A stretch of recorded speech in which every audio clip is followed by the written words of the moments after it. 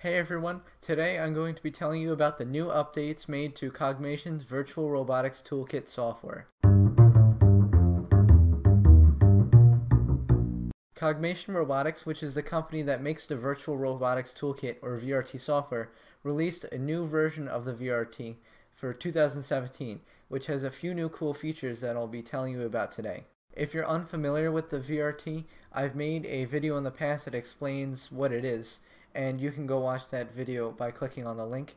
And I've also made a series of tutorials that are already published and that tells you about using all of the various basic features and getting started with building and programming your first robot within the software. So I recommend that you go watch those if you don't know yet what the VRT is. So the first major update that Cogmation gave to their software is they updated their physics engine to Unity 5 and this allows them to have faster and improved performance within the software. In addition, they've added some of the more recent competition mats. They've added FLL 2016 Animal Allies, as well as the 2016 and 2017 WRO Challenge mats.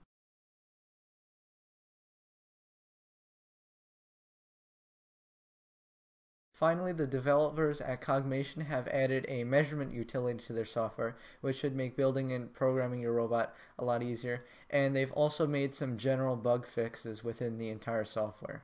Another important thing to mention real quick, for those of you who have been following my channel and have seen the series of VRT tutorials that I published starting in January of 2017 into March of 2017, the version of the VRT that you see in that video is the 2015 version, as I had created all of those tutorials in December of 2016, and the 2017 version hadn't been released yet.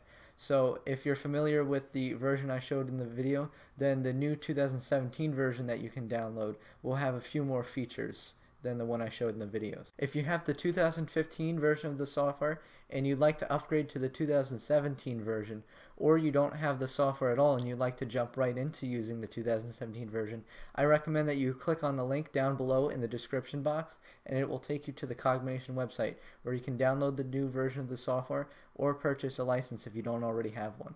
Thanks for watching my tutorial this week. If you found it helpful, be sure to subscribe to my channel for more tutorials like this every week. If you have a suggestion for a tutorial, be sure to submit it in the comments section below. Thank you, and I'll see you next time.